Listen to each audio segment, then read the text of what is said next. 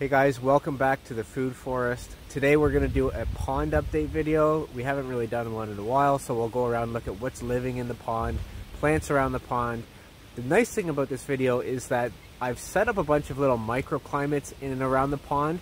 Dry, rocky, sunny areas, shady woodland areas, wetland areas. So I can talk about some of the plants that are doing well in those areas. And then even if you don't have a pond per se, you can probably use this information to help flesh out your own food forests for your own little microclimates or just general overall conditions of the environment that you live in. So thanks for watching. Let's get right to it. If you love what we do here on this channel, Building for Nature, definitely hit that subscribe button, hit the notification bell so you know when these videos come up, and tell people about this channel. Tell people about permaculture and how we can change the world by planting more plants. If you want to support more than that, check out that membership button next to the subscribe button let's get into the pond video right now.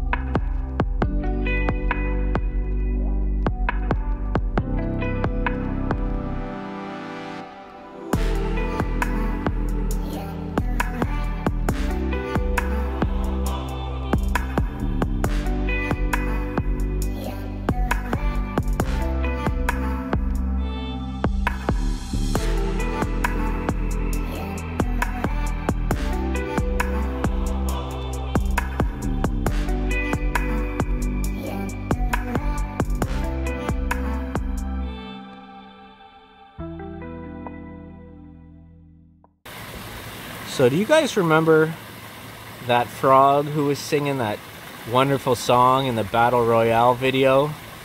Yeah, I think that beautiful song he was singing was pretty successful. That is a lot of tadpoles. Look at this little island guild. Comfrey, sea buckthorn, creeping jenny, a peach tree, as the overstory. And it's just doing fantastic. I think I might chop and drop some of that comfrey though and feed it back to the soil. The soil in this island guild is terrible. It's just like all the other soil, so I've got to rebuild it. So these dynamic nutrient accumulators are fantastic for doing that job.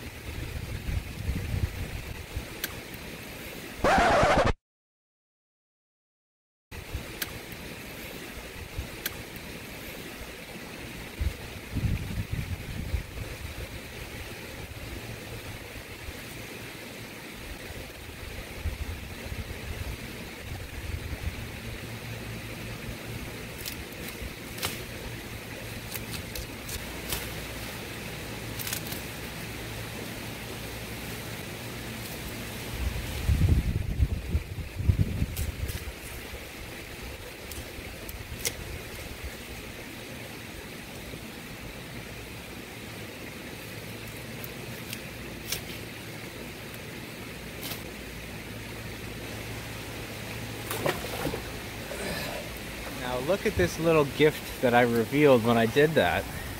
This is fantastic. Little runners of named variety sea buckthorn. So I can dig these up and propagate these and sell them. Many, many little new runners. This is so fantastic. I might even go do that today. So although I did like the aesthetics, the look of that comfrey, really nice and tall, nice filled in guild, that comfrey will regrow in maybe a week or two to be almost as big. It's just about to flower, so interrupting that now will actually cause the plant to create tons more leaves. Now as far as the sea buckthorn goes, this is a nitrogen fixing plant. Um, when I did my top bushes for your food forest video, this was the number one bush. So it is one of my favorite plants. It's arguably the healthiest berry on the planet. I actually have a video exclusively on it called What is the Healthiest Berry on the Planet? And spoiler alert, it's sea buckthorn. So having these pop up is wonderful because I'd started with wild varieties that I found in the wild. They have massive thorns and small berries. These ones here have large berries and almost no thorns at all. So being able to propagate and spread this variety throughout my food forest is just wonderful. And in the store, each one of these little runners dug out and put in a pot will cost you 20 bucks. So there's 60 to 80 bucks in there, maybe even $100 worth of plant material that I just happened to discover because I'm chopping and dropping my comfrey to build soil. I'll also try to give you an update of the polyculture in a pot as often as I can so you can see it um, develop. Right now, everything seems pretty happy actually. So, so far so good. I think everything I've planted is still surviving. The raspberries got a little dried up from all the lack of rain lately, but everything else seems to be doing all right. Surprisingly, the good King Henry is looking like it's gonna do well. I thought that thing would be dead in a week already this mint is starting to push push over and try to take over so that's probably an indicator of where this is going I think people who put their money on mint are going to be pretty happy with the result but the, the smell is fantastic it's it's I can't even describe it it's so strong the smell of this whole pot just everything in here is a smelly smelly plant and it smells crazy I suppose I should quickly mention what some of these things are for people who haven't seen that video yet, but go check it out. It's the Battle Royale video. Um, I wanted to make a permaculture polyculture in a pot. Polyculture is just not just one plant, but a symbiotic relationship of plants um, where the strength of the whole is greater than the sum of the parts. So this is um, Good King Henry. It's an edible perennial green. So this is fantastic. If you can get an edible green that's a perennial, then you never have to plant your greens again. That's really, really something everyone should be striving to do. We've got some strawberries in here, chocolate mint. Um, we have got some yarrow in here. Uh, we've got some onion chives. We've got raspberries, some more um, strawberries and some peppermint in the back that the strawberries are kind of smothering out. Sorry, I was a little low there. And then I, I don't know if I said oregano. So we got some oregano and then we put some mushrooms in the wood chips as well. Little more wood chips for here. So that's the polyculture in a pot update.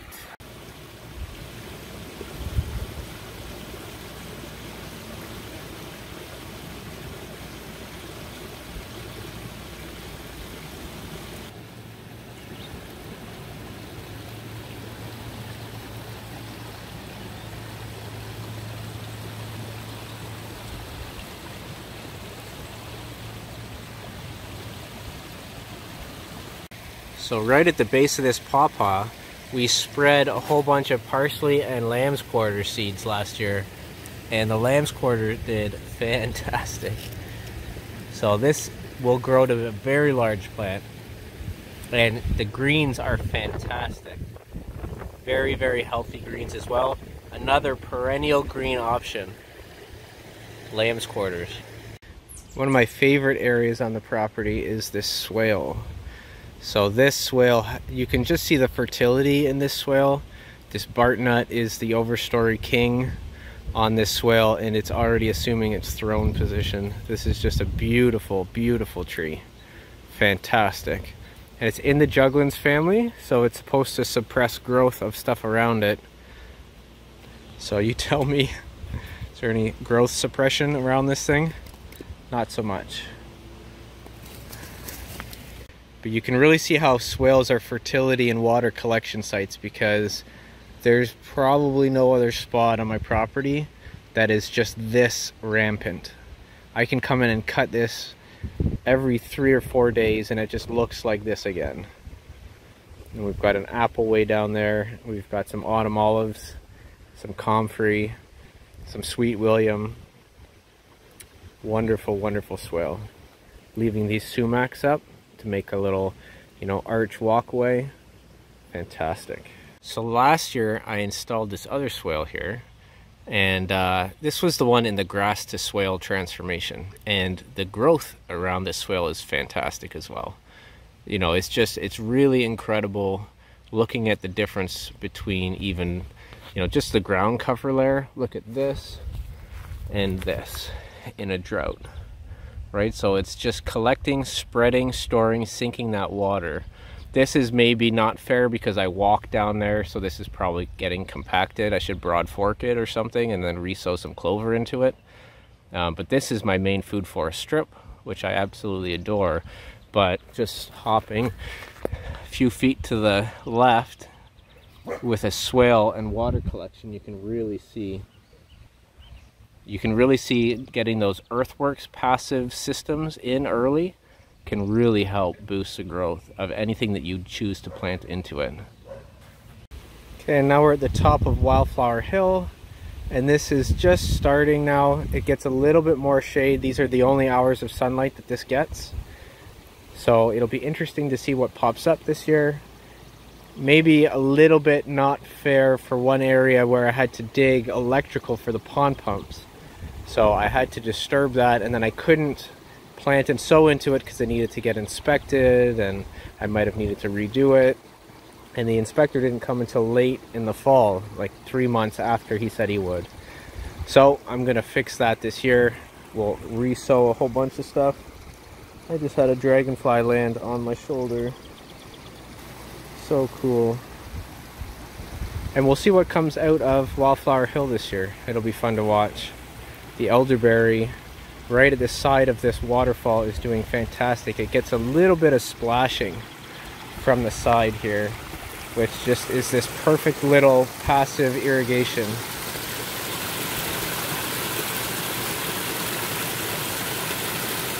ostrich fern, and elderberry. This little river's edge hillside guild is doing really well as well. This is just planted in inches, not even inches, half an inch of soil between these rocks.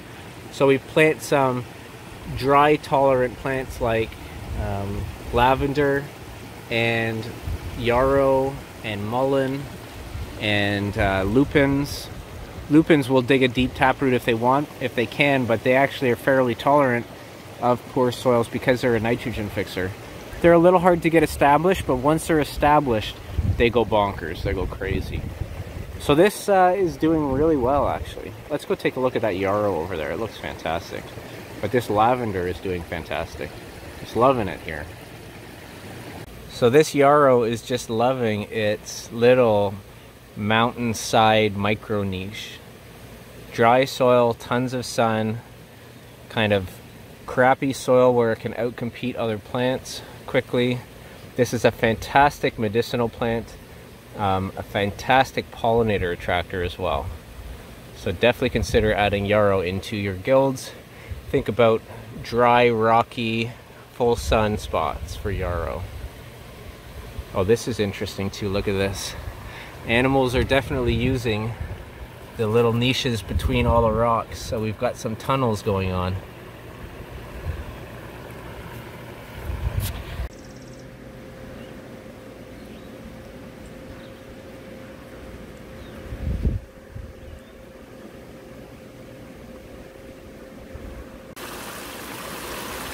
These are wild geraniums.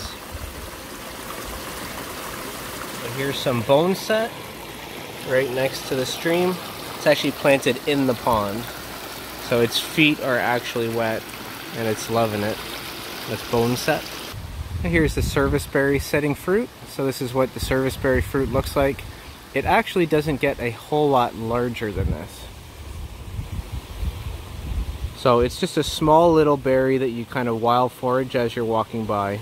It'll turn red and you have to keep an eye out for little pinholes in them because there are little bugs that like to get in there. So if you see that, if you see one ripening, turning red way before the others, it probably has a bug in it. So just you can pull it off and discard it.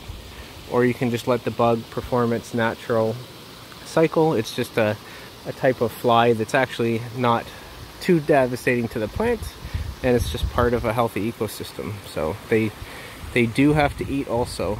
Pests do have to eat and we can't get predators if we don't have pests because predators need food. So if we want to sabotage our predator populations, we pull all the pests off.